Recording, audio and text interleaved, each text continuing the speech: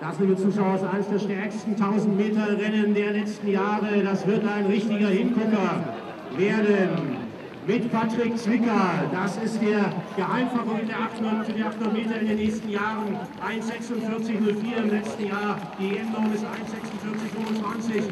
Er könnte also dabei sein. Andreas Lange hat sich wunderbar entwickelt in den letzten Jahren. Und natürlich Romeo Testari auf allen Strecken zu Hause von 800 bis 5000 Meter. Schnellsten Rennen Zeitgeschichte der 1500 Meter 3,33, 33 gelaufen ist. Klatschen wir rein hier bei den Jungs, der Tempomacher muss ein bisschen ruhiger gehen.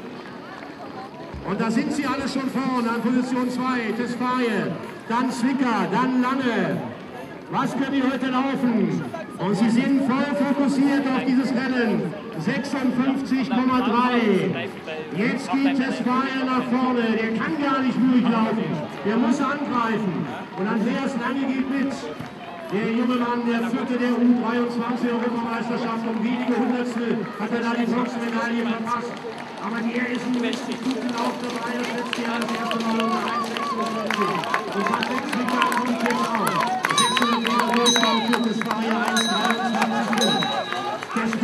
Dann hat Kundessa, dann Lange, dann Zwicker. Das sind die ersten fünf. Und Tesfaye von vorne mit seinem typischen Schritt. Und wir feuern jetzt an. Was können die 800 Meter Spezialisten da noch? Tesfaye, Romeo Tesfaye, dann Hundessa. Jetzt kommt Timo Bienitz noch.